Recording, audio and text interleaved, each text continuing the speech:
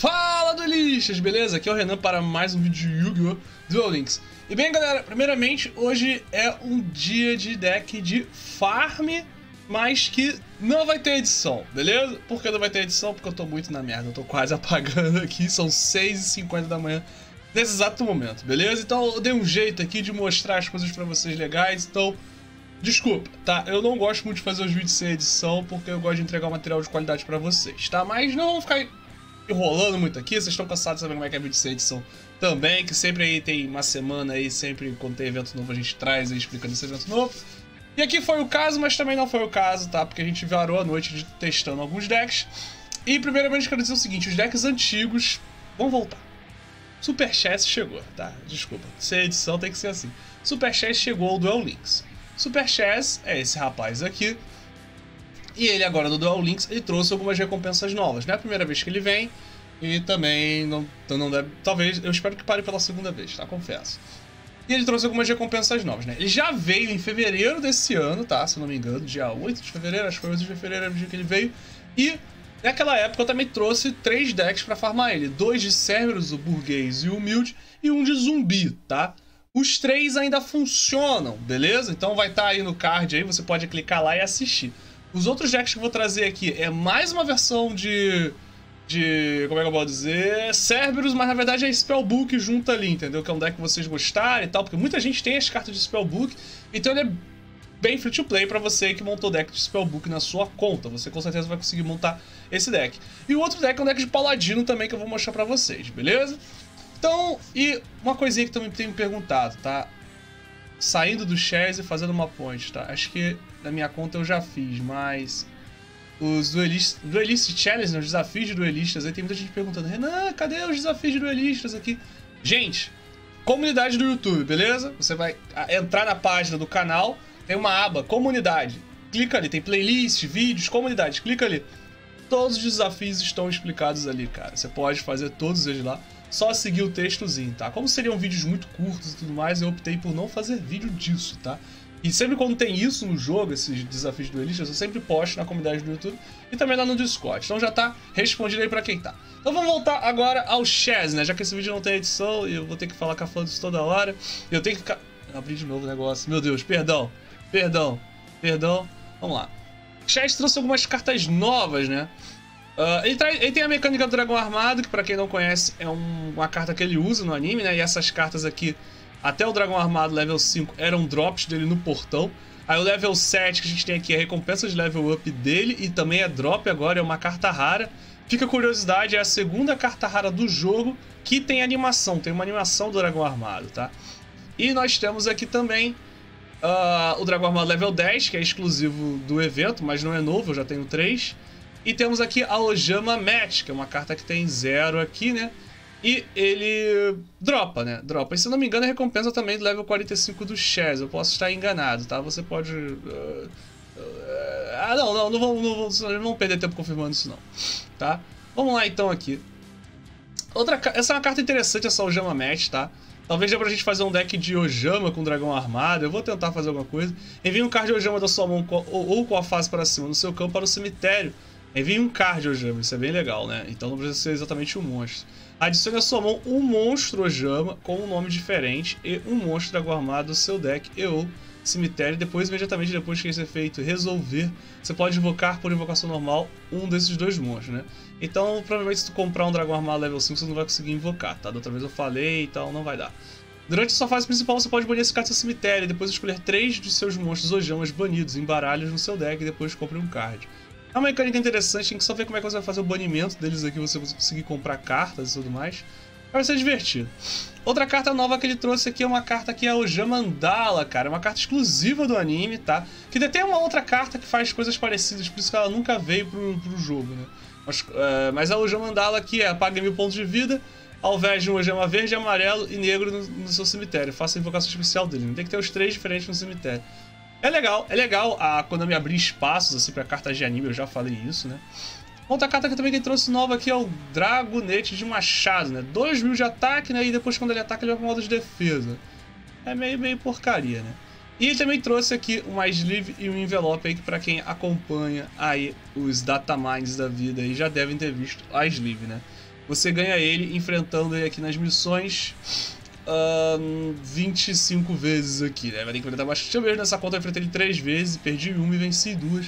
Testando decks, ou na verdade eu testei todos os decks na conta do italiano, que ele tava cheio de esfera lá pra queimar.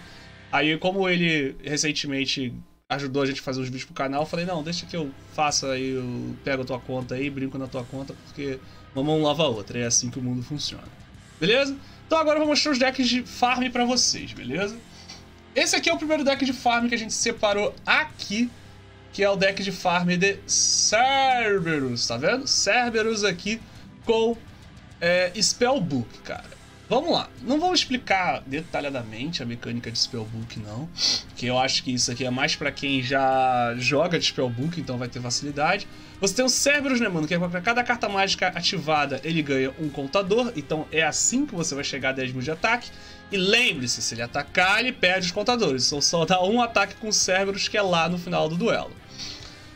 Outra coisa interessante aqui nesse deck, né? Cartas. Vou chegar nas cartas de Spellbook. Cartas que você não usa de Spellbook aqui. Você tem o H, Coração Ardente. Renan, não tem o H, o Coração Ardente. Que carta eu coloco?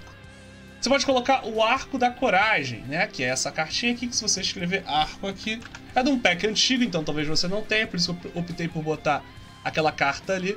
Essa carta aqui faz com que você ataque diretamente, mas o Cerberus perde mil de ataque, então muito cuidado. E esse deck aqui ele não passa muito dos 10 mil, ele sempre dá o dano ali 10 mil meio cravadinho. Então tem que tomar o seu cuidado, beleza? Então nós temos aqui, além do H, que ele dá um bônus de, um bônus de ataque também, além de dar um perfurante ali em modo de defesa, você não ataca diretamente. Nós temos também dois martelos mágicos aqui que ajudam a, se você tiver com a mão cagada, né? E se tiver na mão também pra dar, pra dar aliviada, ajudam a resolver o problema, beleza? E a carta assinatura aqui é a seguinte: qual é o problema do Chaz? O Chaz, quando ele vai te enfrentar, ele, ele tem mecânica de destruir seus monstros, tá? A primeira mecânica principal dele é com os dragões armados. Dragão armado você descarta uma carta e destrói o um monstro no campo. Ok? Destrói o um monstro com ataque menor que o monstro descartado, né?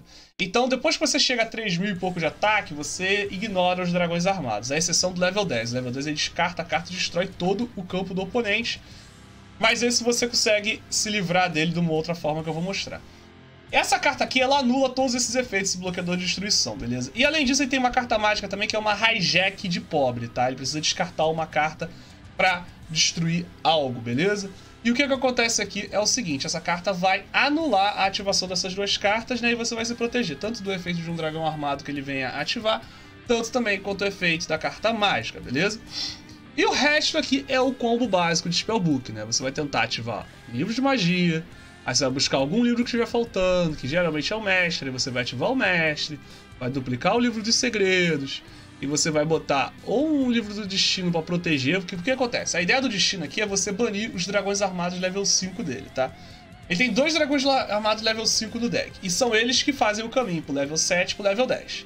Então se você se livrar desses dois dragões armados, ele não coloca mais dragão armado level 7 ou level 10 no campo, né? Ou você bane o level 7 e, ou, e antes deles ativarem o efeito, é importante isso, tá?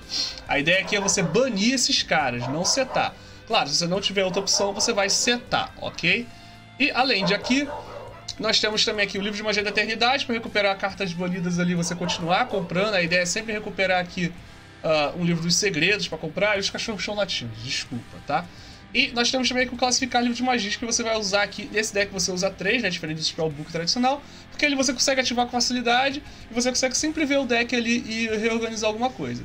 Ah, ainda não tenho 3 classificar, porque eu montei o Spellbook direitinho. Beleza, coloca mais um mestre.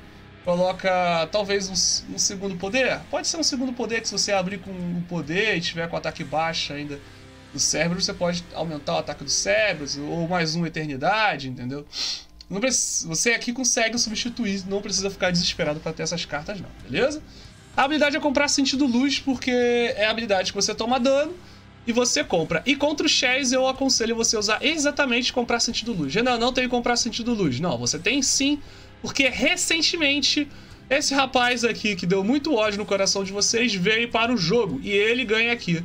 No nível 4, comprar sentido luz. Renan, eu não joguei é, o evento do Zen que veio recentemente, não tenho comprar sentido luz. O que, que eu faço? Cara, procura teus personagens. Pegasus tem, e X eu creio que tenha também. O próprio Aster Fênix aqui que eu tô mostrando tem também. você vai ter que procurar e talvez farmar um pouco com eles, tá? Mas se você não tiver, vê os vídeos antigos, lá tem outras variações de deck. E também vê também o próximo deck que eu vou mostrar já já, beleza? Então vou mostrar esse replay aqui e eu vou comentar. Deixa eu só trocar minha tela aqui rapidão, vai dar uma bugadinha rapidinho, perdão, e pronto, estamos aqui. Olha só, rapaz. Eu botei aqui, ó, olha aí, só o deck de Spellbook ali, coisa bonita, né, velho? Parece até que parece até que a gente tá, tá, tá tendo edição, mas não tá tendo edição, não.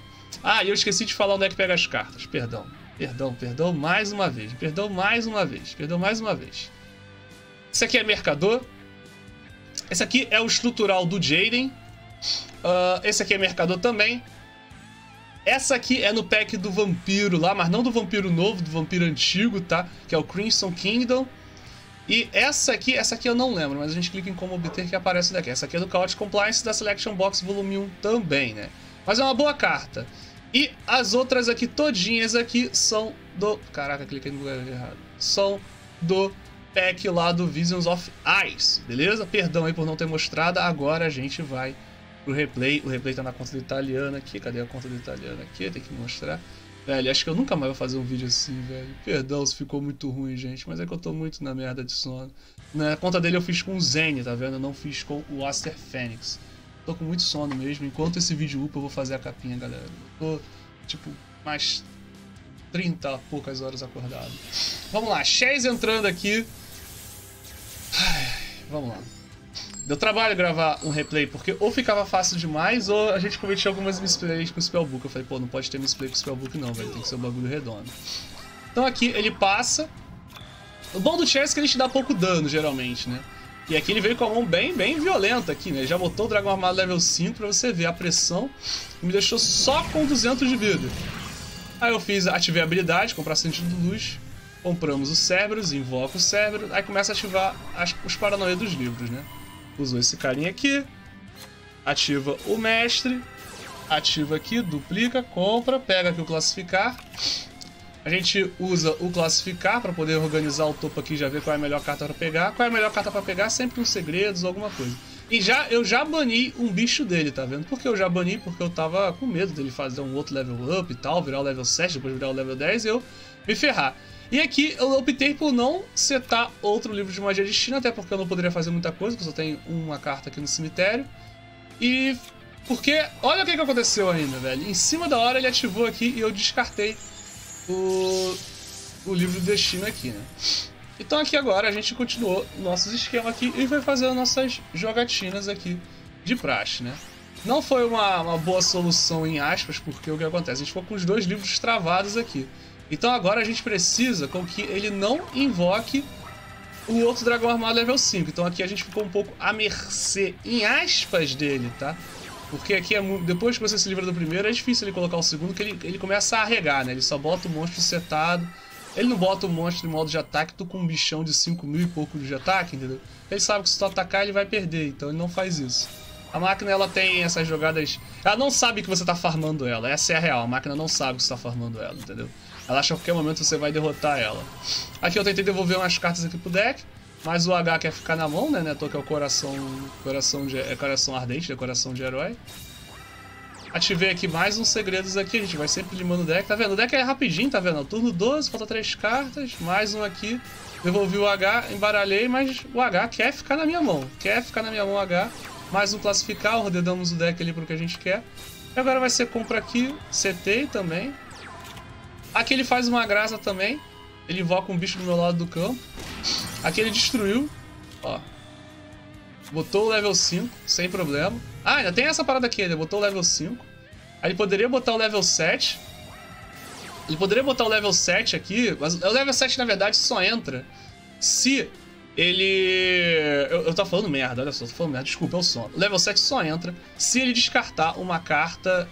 Level 7 só entra se ele destruir um monstro. E o efeito Dragão Armado level 5 é que ele descarta uma carta e o ataque original do o ataque do, do monstro descartado tem que ser maior que o do ataque do monstro aqui. Então ele não destrói mais o cérebro. Já tava falando merda ali naquela hora ali. Desculpa, galera, é o sono, é o sono, é o sono.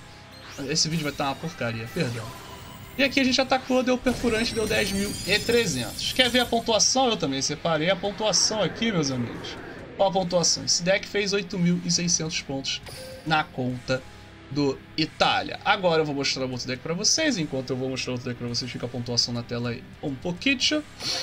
Outro deck é de Paladino, eu vou tentar correr um pouco mais, porque eu já vi que eu tô com 15 minutos de vídeo, rapaz. 15 minutos de vídeo. Vamos lá, então. Já tô com o deck de Paladino na tela. Vamos lá. Deck Paladino na tela ali na lateral também. Vamos lá. Aqui temos bastante cartas, né? A mecânica de Paladino, o que, que consiste? Consiste em você invocar esse carinha aqui e ficar negando as cartas mágicas dele, né? Paladino tem a mesma coisa, em 2900 de ataque. Depois que o primeiro dragão dele estiver no cemitério, ele vai a 3,500, que o Paladino ganha 500... É, 3,400. O Paladino ganha 500 de ataque para cada dragão no cemitério, né? E no campo também. Então o que acontece é você vai ficar imune também ao efeito de dragões armados, a exceção do dragão armado level 10, vale a pena frisar isso. E o que acontece, você tem que só se proteger da carta mágica. E como você se protege com a carta mágica, usando o próprio efeito Paladino Negro. Que o efeito Paladino Negro é você descartar uma carta e negar a ativação de uma carta mágica. E é isso, você vai fazer isso. Como você vai fazer isso aqui? Essa é a versão mais free to play, poderíamos dizer assim, de Paladino que você pode ter, né? Tô que a gente tá usando só um Rei do Pântano aqui do meio. Renan, não tem o Rei do Pântano, cara. Tem alguma outra carta que eu possa comprar agora para buscar uma fusão do meu deck, cara. Você vai escrever fusão aqui. Vou botar monstros e tem um outro cara aqui também. Cadê ele? É esse cara aqui, ó. O homem chama o herói do elemento. Ele é lá daquele pack lá estrutural do Jaden também, que também completa o Spellbook, entendeu? E aqui, beleza. Como é que você faz o Paladino? Você faz o Paladino com o Mago Negro, né? Obviamente o Mago Negro é lá drop do Yugi, a gente precisa falar muito disso. Com o Blader Notável. O Blader Notável, pra quem não sabe, é lá do Crimson Kingdom. Packzinho antigo, mas um packzinho bonzinho que vale a pena abrir ainda de vez em quando. E o Rei do Pântano, para quem não captou, ele é lá do Generation Next das Mini Selection Box também. Beleza. Renan, por que só tem um Blader notável? Porque a gente tem essa carta aqui, que é a bota dele. Eu não sei que porcaria é isso aqui. Isso aqui, pra mim, é... na verdade, isso aqui, na verdade, eu tô olhando melhor aqui. Isso aqui, na verdade, é a... É, é... Eu esqueci o nome, onde você segura a espada, né? Pelo que parece, né? É isso mesmo, é... é... é a guarda da espada. Não é, né? Guarda. Eu esqueci. Enfim, é o lugar onde você segura a espada, pelo que parece, né? Eu achava que era uma bota. Enfim, não parece ser uma bota. Essa carta aqui você ativa e você compra um Blader notável do deck ou do cemitério. Aí você pode, dois dele, ou um desse, um desse, dois desse aqui, entendeu? O ideal é ter mais dessa carta, porque você com mais dessa, você compra sempre ele, entendeu? E você comprando sempre ele, você diminui o deck. Diminuindo o deck, você termina o farm mais rápido. Essa é a ideia. Beleza. Essas cartas aqui, Deusa do Terceiro Olho, Ovelha Mística número 1 e Versaga aqui são todas recompensas de level up do Joey, Yugi e Kaiba. Mas você também ganha elas naquele... É, por exemplo, a deusa aqui. Você também ganha elas naquele envelope horror, horroroso lá, rosinha, que a Konami gosta de dar no domingo à tarde pra gente. Que todo mundo odeia, mas mesmo quando dá essas cartas. Eu mesmo consegui três da deusa dessa maneira, né? Tenho três da deusa, tenho uma só da ovelhazinha e. Oh, peraí, cadê que. E tenho dois do Versago dessa maneira. Beleza, Renan, mais uma vez, não tenho essa carta, cara. Tem essa cara, tem esse cara aqui que ele faz a mesma coisa e ele é drop dos irmãos Paradox, tá? Você pode botar aqui, por exemplo, três deles, sem problema nenhum, que é a Fera do Pântano. Aí você tira a deusa, tira... Caraca! Tira o Versago, tira também... Cadê tira, tira a ovelha? Pronto, é a mesma coisa. A carta faz a mesma função. Beleza? Qual é a função? São três cartas que substituem tanto o Blader Notável quanto o Paladino. Essa é a ideia, né? E Polimerização do mercador, enfim, tem várias maneiras de ganhar polimerização no jogo, quase todas. Todo mundo que já joga uma semana, duas, deve ter três. Ataque final é com o Vassalo, o Vassalo ele é level up da Shields, né, cara? Então tem que abrir a Shields aí. Uh, cadê? Ataque unido é drop do Yugi, mas eu sempre sugiro a vocês a pegarem ataque unido como recompensa aí de bilhete SR, tá? Um dos primeiros aí, dois ataques unidos tá, tá ótimo já. Uh, e mais o que aqui? E passagem secreta que infelizmente você vai ter que ir lá no Ultimate Rising pra pegar, beleza? E ok, estamos finalizados aqui. Uh, você também pode botar o, por exemplo, o R Coração Ardente aqui, tá ligado? A carta lá, aquele pack lá. Aqui, R não, H. O coração, né? Vou botar aqui. Você poderia botar o coração aqui, entendeu? Nesse deck tu, tu poderia botar o coração. Porque ele faz um, um, ataque alto, entendeu? Fica vendo quanto de ataque tu estiver fazendo. Se você estiver fazendo 12 mil, 12.500, bota, bota, pode botar o coração, que vai dar mais 500 pro vassalo e vai conseguir dar o dano de efeito. Enfim, vai, vai, vai funcionar também, né? Então, vamos lá, deck apresentado, né? Acho que eu falei de um deck que pega todas as cartas, ficou faltando só do martelo, mas o martelo a gente também já falou do outro também, martelo, martelo, martelo, martelo do mercador. Então, agora vamos ver, sai sem salvar, que eu só toquei ali. Vamos ver agora o replay também que eu fiz lá na conta do italiano. O italiano é o quebra-mola, quebra-mola. Ele ter descoberto essa palavra em português, achou engraçado e quis colocar. E é, as coisas acontecem assim. E já estamos com 20 minutos de vídeo sem edição. Peço perdão pro vídeo de hoje ser bem diferente, galera. Não era essa era a intenção, mas demorou demais testar esses decks. E eu tô com muito sono e eu preciso dormir. Preciso dormir. Ontem foi dia dos pais. Me, deem um alívio, me deem um alívio, tá? Nós viemos com aquela mão God aqui, né? Em que você usa o emblema aqui, compra o Blader Notável, ativa o Rei do Pântano e busca a fusão, né? Ah, eu esqueci de falar, a habilidade é a. É, é, hora da fusão, tá escrito ali do lado, hora da fusão. A habilidade, quando você toma 1500 de dano, você consegue comprar uma polimerização de fora do seu deck, tá? Então é uma opção você também deixar ele destruir. Aqui eu ataquei o bicho dele, tá? Uh, não precisava ter atacado, poderia até só ficar passando um turno sem problema. Ele já usou o turbilhão logo de começo, descartei a ovelhazinha. E agora o resto do duelo é passar turno. Deck de Blade Notável é sempre um deck muito uh, versátil, sempre tá aí constantemente aparecendo decks de farm. Mas é um deck chato, porque demora muito. A ideia do farm. O, o, bom farm é ser rápido e eficaz. Entendeu? Esse é o bom farm, você terminar rápido e eficaz. Esse deck aqui, ó, turno 13, e estamos na metade do deck ainda, velho. Ó, usei aqui um martelo de sacanagem, devolvi o deck, a mão inteira pro deck. Só de onda mesmo. Botei outras cartas na mão. E vai passando o turno. Não faz a outra fusão, tá? Eu esqueci de falar, tem uma outra fusão aqui também. É, você não precisa fazer outra fusão só se ele tiver com ataque muito alto. Aqui ele invocou um bicho, ele vai usar um level up aqui e você descarta e não, acabou, não vai ter, não vai ter, não vai ter, esquece isso. Esquece isso, acabou, ferrei o combo dele aqui. Você tem outra fusão também ali que eu esqueci de mostrar, tá? Perdeu e não tá aparecendo no print. Mas você pode botar um segundo Paladino Negro, você pode botar o Buster Blade branco também, entendeu? Que é uma fusão também, que é o Buster Blade, Matador de Dragões, é uma porcaria dessa. Estaria aparecendo no vídeo se tivesse edição. Perdão mais uma vez, galera. Perdão, perdão. Beleza? Mas eu tô, tô, cansado, tô cansado, não vai dar pra editar não. O tio Taka hoje tá de folga, então amanhã volta tudo ao normal. Prometo. E, e, essa semana eu vou trazer um deck de dragão armado que vocês pedem muito. Agora saiu umas cartinhas novas, dá pra brincar. Vamos pelo menos fazer um forfã. Vai um forfãzão. É aquele negócio, você viu, a gente foi passando o turno o tempo todo e negando tudo que ele poderia ativar pra ferrar a gente, né? E temos aí na tela o drop. Esse deck faz bastante pontos, 9.600. Vai lembrar que a gente tá tendo um bônus de campanha. Eu tô apontando o mouse aqui e tô achando que tá aparecendo, né? Mas vai lembrar que a gente tá tendo um bônus de campanha aqui que tá dando mil pontos extras, ok? E bem, galera, vamos, vamos, vamos parar por aqui então, né? Cadê meu carão aqui? Voltamos, voltamos aqui a tela inteira. Então, é isso, tá? Espero que esses decks ajudem vocês, tá? Vejam um vídeo antigo também, porque lá tem alguns outros decks, tem mais três decks para ajudar. Também, se você tiver com problema aí também nas, nos desafios do Elite, já estão todos resolvidos lá na nossa comunidade. E qualquer coisa aparece lá no Discord, a galera ajuda lá. Eu mesmo já ajudei já o Kino, por exemplo, agora de manhã, a montar uma dessas versões do deck aqui com as cartas que ele tinha na conta dele, né? Procure lá os Deck Helpers lá, que eles ajudam lá e dão dicas, beleza? Então é isso, galera. Assiste os outros vídeos que estão na tela aí. Eu vou dormir muito agora. Muito mesmo. Ai, perdão pelo vídeo ter ficado longo. Valeu. Tamo junto. Fui. Aí, como sempre eu falo, tem que clicar aqui pra parar de gravar.